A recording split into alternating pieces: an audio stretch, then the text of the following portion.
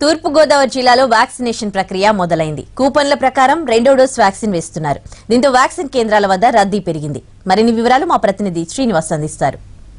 Vaccine కేంద్రాల వద్ద రద్దీని తగ్గించడానికి అలాగే గుంపులు గుంపులుగా వచ్చి వాళ్ళందరూ కూడా దోపులట్లు జరుగుతున్న నేపథ్యంలో ఈ రోజు నుంచి కూడా కూపన్ పద్ధతిలోని వ్యాక్సిన్ వేసే కార్యక్రమాన్ని చేపట్టడం జరుగుతుంది.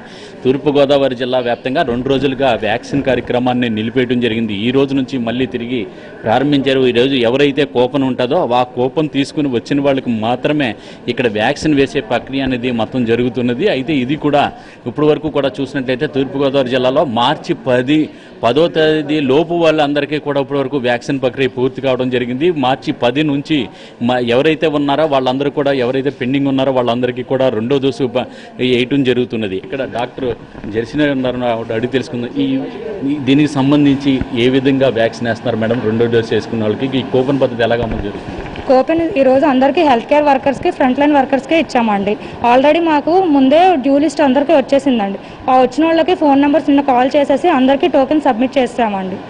ఎవరి ద్వారా ఇస్తున్నారు ఈ టోకెన్స్ ఈ టోకెన్స్ అండి కమిషనర్ సార్ వాలంటీర్స్ ద్వారా ఇస్తున్నామండి. ఎన్ని రోజులు అయిపోయిన వాళ్ళకి ఈ డోసులు వేయటం జరుగుతుంది? సెకండ్ డోస్ వేసిన వాళ్ళకి? అంటే సెకండ్ డోసు వన్ మంత్ తర్వాత అండి. సిక్స్టీ డేస్ దాటిన వాళ్ళు కూడా కొంతమంది ఉన్నారండి. వాళ్ళకి కూడా ఈరోజు వేస్తున్నామండి. అంటే ఈ కేంద్రంలో ఎంతమందికి వేస్తున్నారు? ఈరోజు టూ ఫిఫ్టీ మెంబర్స్కి వేస్తున్నామండి. టూ ఫిఫ్టీ డోసెస్ అండి. వీళ్ళకి వేసుకునే వాళ్ళకి సెకండ్ డోస్ వేసుకుంటానికి వచ్చే వాళ్ళు చాలా మంది ఇంకా మాకు కోపంలు అందలేదు అంటున్నారు.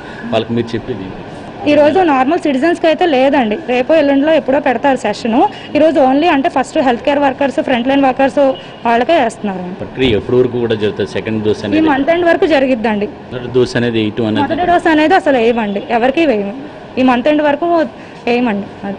ఎలా ఉన్నది ఇక్కడికి వచ్చే వాళ్ళు కానీ తోపులాట్లు కానీ ఇవన్నీ రద్దీగా ఎంతమంది ఉండేది. ఈ టోకెన్ సిస్టమ్ పెట్టడం వల్ల అండి క్రౌడ్ మేనేజ్మెంట్ అయితే చాలా తగ్గిందండి. ఒక్కొక్కళ్ళు వచ్చేసి చాలా లైన్గా నుంచొని టోకెన్స్ ఇచ్చిన వాళ్ళకి వ్యాక్సిన్ వేస్తున్నామండి. ఇక్కడ వ్యాక్సిన్ ప్రక్రియ అనేది ఇక్కడ తూర్పుగోదావరి జిల్లా వ్యాప్తంగా కూడా సజావుగా సాగడం జరుగుతుంది. ఈ టోకెన్ ప్రక్రియ పెట్టిన తర్వాత ఎవరు కూడా ఆ లైన్లోని క్యూ పద్ధతిలో వెళ్ళడం వలన ఎక్కడ కూడా రద్దీ లేకుండా ఉండడం అనేది జరుగుతున్నది. సార్ మీరు ఎప్పుడు ఎంచుకున్నారు వ్యాక్సిన్ నేను ఏప్రిల్ ఫోర్టీన్త్న వేయించుకున్నానండి. అది మీకు సెకండ్ డోస్కి వచ్చారు ఇన్ని రోజులు ఎలా వెయిట్ చేశారు? ట్రై చేస్తున్నారా? ఎలాగ ఇబ్బంది అనిపించింది? లేదు సార్. గవర్నమెంట్ బాగానే ప్రొవైడ్ చేసిందండి. ఓపెన్ అందింది. ఆ కూపన్ అందింది సార్. అంటే వాలంటీర్ల ద్వారా అందించారండి కూపన్ అమ్మ ఎక్కడి నుంచి వచ్చారు మీరు? రాజమండ్రి అండి.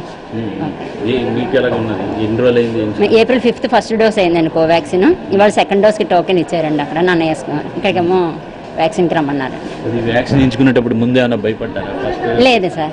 వ్యాక్సిన్ అసలు వేయించుకుంటేనే బెటరు అని ఎదురు చూసామండి వ్యాక్సిన్ కోసం. అందరూ కూడా క్యూ పద్ధతిని పాటిస్తూ ఎవరికైతే కూపన్లు ఇచ్చారో ఆ కూపన్లో ఉన్న వాళ్ళు మాత్రమే.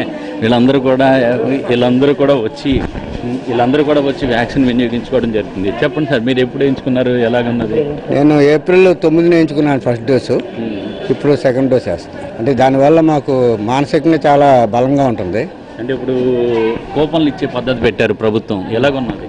మంచిదండి ఇది. ఇది మంచిది. ఎప్పుడు కూడా మేము ఆర్డీఓ చేస్తున్నప్పుడు చూడ కూడా మేము కూపన్స్ చెప్పి ప్రజలకు ముందే చేయించేవాళ్ళం. డేట్స్ చెప్పి ఆ టైమ్స్ డేట్స్ చెప్పేవాళ్ళం. మేము పోలింగ్ కేంద్రం అవి చేసేవాళ్ళం అప్పుడు. స్కూల్స్లో పోలింగ్ కేంద్రాలు ఉంటాయి కదా ఎలక్షన్ ప్రాసెస్లో చేసేవాళ్ళం ఎప్పుడు కూడా. సరే అప్పుడు ఫస్ట్ డోస్ వేయించుకున్నారు ఇప్పుడు సెకండ్ డోస్ వేయించుకున్నారు మీకు మీలో ఇప్పటికైనా ధైర్యం వస్తుందా మీకు? కోవిడ్ నుంచి ఏ విధమైన ఇబ్బంది ఉండదు ఉమ్, చాలా ధైర్యం వస్తుంది. ఇప్పటివరకు బలంగా ఉన్నాం మేము యాక్చువల్గా ఏం ప్రాబ్లం లేకుండా అంటే ముందు బయటికి వెళ్ళకపోవడం వల్ల.